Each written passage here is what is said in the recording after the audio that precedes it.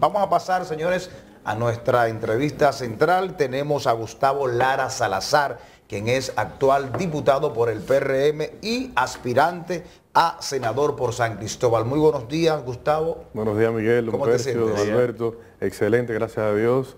Gracias a ustedes por la oportunidad de estar aquí con ustedes hablando al pueblo dominicano. San Cristóbal, en la candidatura a senador está reservada o eso va a una primaria o se va a elegir a través de, eh, encuestas? ¿Cómo se, cuál, cuál, es la, ¿Cómo se va a escoger? El Partido Revolucionario Moderno determinó que en la provincia de San Cristóbal, así como en todas las provincias del país, a excepción de cuatro, la senadoría sería por metodología de encuestas.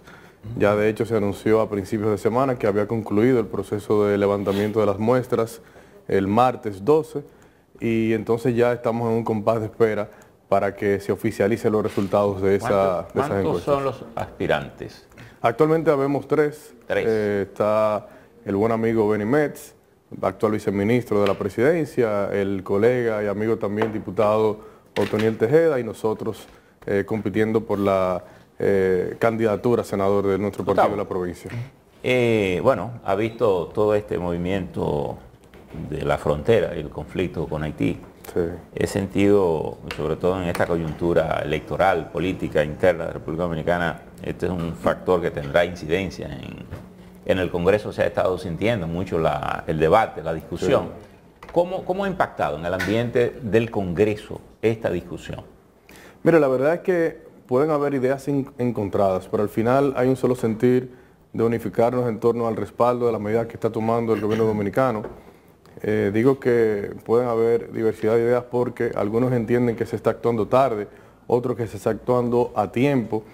Y la verdad es que cuando evaluamos todo lo que se ha estado haciendo el gobierno de los últimos dos años y medio, eh, justamente trae al momento actual las medidas que se están tomando. O sea, se agotaron todos los canales diplomáticos, eh, se han estado llamando a los sectores internacionales a que se involucren en la solución del conflicto haitiano, que al final es lo que genera la situación que estamos viviendo ahora. Entiendo que hay un respaldo total y contundente a las medidas. Eh, evidentemente estas medidas tienen un impacto más allá eh, que la parte diplomática, sino en la parte comercial, económica, pero sobre todo la seguridad nacional tiene que prevalecer como interés supremo. ¿Han considerado ustedes algunas salidas preventivas a esta situación? Bueno, es una, eso es una decisión del Poder Ejecutivo. El Congreso lo que se ha puesto a disposición de respaldar cualquier decisión que tenga que tomar eh, el presidente. Lo digo yo, eh, ¿se prevé alguna salida posible a este conflicto? Porque en algún punto tenemos que llegar. Mire, yo, nosotros en, una reunión que tuvimos varios colegas, eh, seguimos apelando y esperando que con las autoridades del pueblo hermano de Haití diplomáticas pueda llegarse a un acuerdo que respete los acuerdos internacionales que están establecidos, que la República Dominicana ha respetado. Evidentemente hay diferentes canales de comunicación, hay muchos actores tal vez que no son en este momento los que están asumiendo el liderazgo del gobierno central, que han abierto canales de comunicación por vínculos que pueden tener eh, con autoridades y personalidades de influencia de Haití. Y nosotros esperamos que prevalezca la sensatez y que entonces puedan respetarse esos acuerdos internacionales, que son los que determinan lo que justamente ellos están violentando con la construcción de ese canal. Gustavo, er, bueno, eres de San Cristóbal. Recientemente ocurrió una tragedia muy fuerte en San Cristóbal, la explosión que dejó casi 40 eh, muertos. Eh, esto puso al relieve, obviamente, eh, todas estas situaciones que se dan sin, sin planificación, empresas que se colocan en lugares o que funcionan en lugares que no deberían de estar puso a relieve obviamente la ley de una ley robusta de ordenamiento eh, territorial. Me gustaría saber cuál es tu posición con relación a este tema y específicamente esa tragedia en tu pueblo. Claro, mire, la verdad es que San Cristóbal, desde mi humilde opinión, no volverá a ser igual. Hemos estado trabajando para volver, retornar a la normalidad eh, paso a paso. Hemos estado trabajando un acompañamiento a las familias en un momento muy complejo y difícil, donde no necesariamente todas las respuestas estaban a la mano de manera inmediata, pero sí con, el compromiso de acompañarles en todo este proceso. Yo trabajé durante dos años en la ley de ordenamiento territorial, desde que iniciamos esta gestión eh, en el Congreso Nacional, en la Comisión Bicameral, y de, hecho entendemos que es la principal herramienta de desarrollo de nuestro país. Usted lo mencionaba, Miguel, en, gran parte de la responsabilidad de lo que ocurrió fue justamente eh, por, por no tener una herramienta como la ley de ordenamiento territorial que regule, que, que pueda clasificar el uso de los suelos según la necesidad que tengan las ciudades. Y yo creo que eh, ahora que está en un proceso ya de reglamentación que deberá comenzarse a aplicar a principios del año que viene, tiene que ser una norma que todos, sin excepción, no por obligación, sino por conciencia, comencemos a, difundir y a promover la aplicación de la misma, porque no podemos seguir eh, con el desarrollo desorganizado que hemos tenido. Lo que pasó en San Cristóbal, puedo decirles que pudo haber pasado en cualquier parte del país lamentablemente. Y lo que tenemos es que aprender de la experiencia para que no, no volvamos a tener eventos de esta naturaleza. Gustavo, pero ahí hay un punto. Tenemos la ley ya aprobada y tenemos montones de leyes, pero al final no cumplimos ninguna. sí es. El país está lleno de potenciales riesgos por todos lados. O porque las empresas están mal ubicadas o porque permitimos que una empresa que estuvo bien ubicada, la gente se asentara alrededor de ella. Pero hoy tendríamos que resolverlo. Pero aparte de la ley, ¿hay alguna capacidad de seguimiento del Congreso para llevar, digamos, al Estado Dominicano a cumplir con, esa ley? Sí, de hecho, hemos estado en un proceso de seguimiento y de comunicación permanente con, con el Ministerio de Economía, Planificación y Desarrollo, que ha estado trabajando en el reglamento de aplicación. Esa ley sin el reglamento es vacía. Entonces, el reglamento básicamente es la que va a establecer condiciones y debo decirle que todos los ayuntamientos, todos los gobiernos municipales van a estar en la obligación de aplicar la ley de ordenamiento territorial y organizar sus territorios en un plazo máximo de año y medio, dos años, si mal no recuerdo, o si no pueden perder la capacidad de emisión de permisos de uso de suelo, lo que pasaría a manos del, Ministerio de Economía, Planificación y Desarrollo, porque entonces lo que no se va a seguir dando la concesión de que se pueda seguir creciendo de manera desorganizada. Gustavo, eh, tú, bueno, eres diputado, aspira a la senaduría en San Cristóbal. Eh, ¿qué, te motiva? Eh, obviamente a esperar a esta Cámara Alta, los planes y proyectos próximos y si, qué posibilidades tú tendrías de ganar la senaduría. Gracias Miguel. Mire, la verdad es que la decisión de aspirar a esta posición de senador de representación de toda la provincia de San Cristóbal, pudiéramos decir que es un paso más en una carrera política que hemos venido desarrollando que ya data de 20 años. Hemos tenido la oportunidad, gracias a Dios, de ser regidor del municipio de San Cristóbal, de ser diputado actual, electo en el proceso pasado. Y ahora, producto tal vez de la motivación de muchos sectores sociales, de parte del liderazgo político de nuestro partido en toda la provincia, eh, en un ejercicio que hemos venido realizando desde la eh, posición que estamos representando en este momento, entendiendo de alguna manera, interpretando que la principal necesidad que tenía San Cristóbal, que tiene una deuda social acumulada de más de 20 años, era justamente que el liderazgo que ha sido escogido para representar a la provincia pudiera entender el rol de gestión que tenía que asumir. San Cristóbal en el 2020 tenía en presupuestos aprobados más de 6 mil millones de pesos que nunca se ejecutaron. Eh, proyectos que debieron eh, ser implementados para comenzar a impactar la calidad de vida de la gente. Y nosotros que logramos ver esa debilidad, hemos asumido desde la Diputación no solamente el rol de representación en, elevando nuestra voz en el Congreso Nacional, sino fuera de allí en un proceso de gestión permanente para que comenzaran a materializarse muchos de esos proyectos y gracias a Dios hemos conseguido conquistas importantes. Ahora, de alguna manera, estamos redoblando la apuesta y, en mi caso, don Percio, usted sabe que de hecho mi arraigo eh, de vida está en San Cristóbal, yo nací, crecí vivo en San Cristóbal, a mí me duele San Cristóbal y yo la verdad que uno de mis, de mis anhelos mayores es ver a mi provincia con un potencial enorme, verse desarrollar y creando las condiciones para que nuestras generaciones y las futuras puedan tener las condiciones de crecer. ¿Y cuál es el mayor problema que eh, tiene San Cristóbal? La falta de inversión. Básicamente nosotros tenemos, eh, que yo recuerde, Miguel, en los últimos 20 años no había una sola inversión de importancia en San Cristóbal.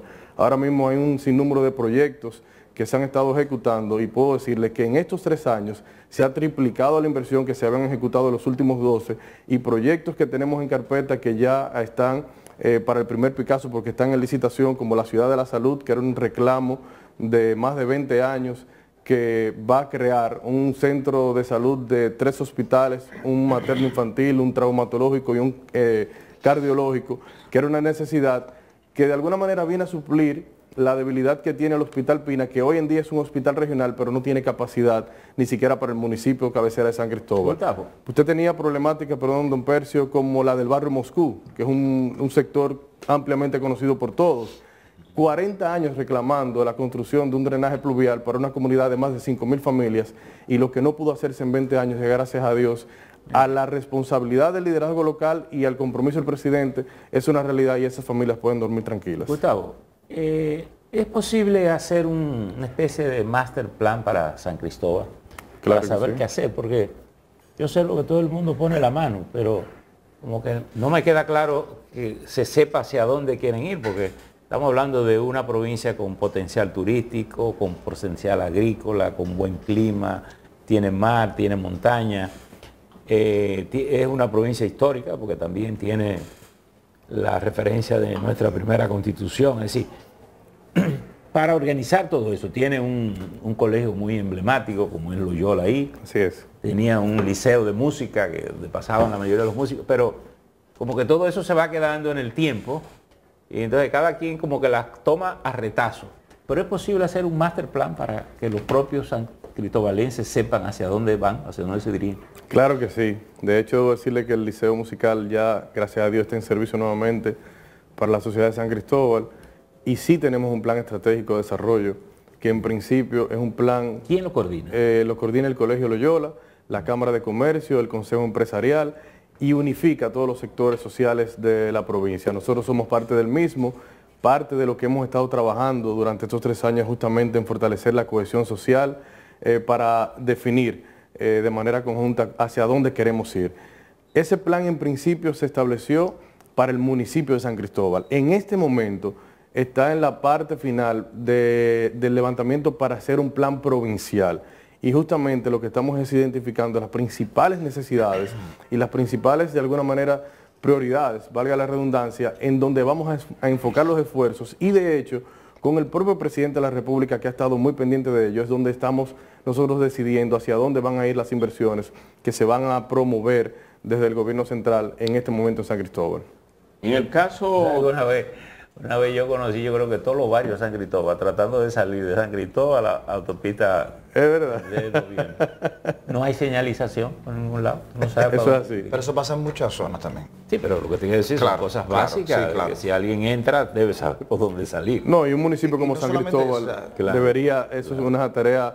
Bueno, de hecho, hoy está mucho mejor señalizada. Hay un programa justamente de señalización y de ordenamiento del tránsito. Ayer se anunció, ayer de hecho estaba Domingo Matías, viceministro del Ministerio, porque San Cristóbal es va a ser uno de los municipios donde se, va a establecer un plan piloto para comenzar a organizar el tránsito del municipio de cabecera. En el caso de tuyo que fuiste regidor, fuiste diputado, si yo fuera... Perdón. Él, es diputado. No, él es diputado, fuiste regidor, diputado. Si yo fuera un san cristobalense que fuera a votar ¿por qué tengo yo que votar por, Gustavo? Mire, lo, principal es el compromiso. Nosotros, eh, a nosotros hemos demostrado durante esta carrera política y las oportunidades que nos ha dado el pueblo de San Cristóbal de representarles, que nosotros no escatimamos día, ni hora, ni esfuerzos para lograr de alguna manera impulsar esos anhelos que San Cristóbal como sociedad ha establecido.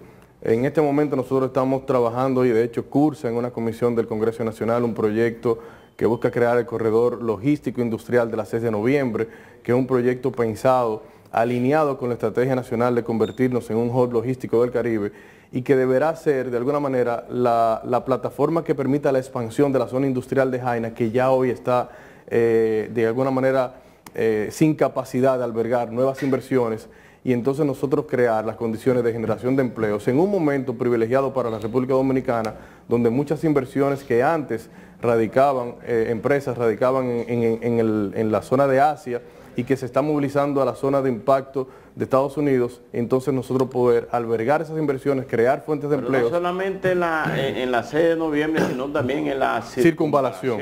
De hecho, correcto, el proyecto abarca 6 de noviembre y circunvalación conecta ahí. Pero hay espacio en el lado de, de las 6 de noviembre, porque también veo que hay mucha arrabalizaciones, mucha gente instalado como mal puesto. Mire, don Pérez. ya comienzan a construir eh, en la circunvalación. Parte de lo que busca el proyecto es justamente eso. La visión original de Balaguer cuando inauguró la 6 de noviembre era que la 6 de noviembre sea la zona de expansión industrial del Gran Santo Domingo. Lamentablemente... Por eso se ha llenado de barrios. ¿eh? Claro, no, y lamentablemente ha, crecido desorganizadamente, pero se puede recuperar, hay una gran parte que es recuperable. De hecho, hay decretos que permiten la recuperación de terrenos que han sido usados de manera incorrecta, pero que ahora, aprovechando de alguna manera la visión del propio presidente y del gobierno actual, junto con la circunvalación, nosotros retomar el ordenamiento territorial de esa zona, que su vocación eh, es justamente industrial, con un criterio diferente, donde pueda ser compatible con el cuidado del medio ambiente y donde podamos crear condiciones. Mire, San Cristóbal tiene un atractivo, y yo hablando con los sectores industriales de Jaina y de Nigua, pensaba que era tal vez de este proyecto la ubicación estratégica de ambas arterias.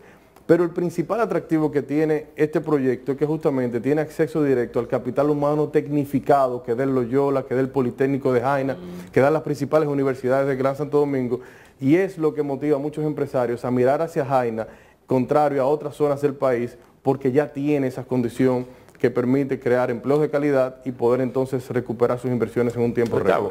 Siendo una eh, parte de una familia vinculada con el deporte, no puedo dejar de preguntarte, ¿cómo están las instalaciones deportivas de la provincia? Mire, es un reto. es un reto porque lamentablemente en nuestro país no hay una cultura ni hay una planificación en el mantenimiento de las instalaciones deportivas. Pero hemos estado trabajando, de hecho las instalaciones de tenis se hizo eh, un remozamiento, hay en la planificación elevarlo. Pero, esa que se hicieron en tenis la, ha hecho la Asociación de Tenis. Pero con aportes de, y con apoyos, porque estuvimos presentes ahí. Pero igual el polideportivo nosotros lo encontramos en condiciones de franco deterioro, o sea, eh, sin capacidad de usarlo, se, remozó completamente, ahora mismo se están instalando asientos, butacas en las gradas, se va a habilitar el área de gimnasia que tiene más de 12 años sin utilizar y de artes marciales en el caso del play de fútbol Rosendo Sepúlveda, que lamentablemente tiene dos años, pero se va a concluir ya, hablamos con el ministro el martes pasado y estableció que para finales de este año va a estar ya en servicio de la población de San Cristóbal. Eh, y muchas canchas deportivas en este momento, por ejemplo, están siendo remozadas. Se van a construir 10 eh, techados en escuelas en la provincia de San Cristóbal, que también ya cinco de ellos están en curso y creo que hay un sentir de, ir creando las condiciones. Y con el estadio, ¿cuándo que vamos a revivir a, los caimanes? Bueno, usted sabe que ¿Eh? nosotros tuvimos, tuvimos una conversación hace unos meses con Junior Novoa, que es el comisionado de béisbol, evaluando la posibilidad de un proyecto de expansión que tiene la liga. Nosotros eh, crear las condiciones para que San Cristóbal pueda tener una franquicia nuevamente que represente a la provincia y a la región. Con, con Lidón dice que están... Con los azucareros. de hecho, se está trabajando con Puerto Plata para ver si se... Correcto. El, presidente vio el proyecto, eh, dio el visto bueno y hemos estado trabajando en ver cuáles serían los mecanismos para habilitar el estadio en las condiciones que amerita entrar en este tipo de eventos. ¿Y cómo está el estadio? ¿Se ha estado usando? Se usa para prácticas de, de las ligas, pero la verdad es que no está en las mejores condiciones. Bueno, pero Gustavo, gracias. de verdad por tu participación. Te suerte, Gustavo. éxito en estas aspiraciones. Gracias a ustedes. Bueno, señores, eh, sigan con nosotros. En breve, Inmaculada Cruz y vamos a hablar de arte y espectáculo.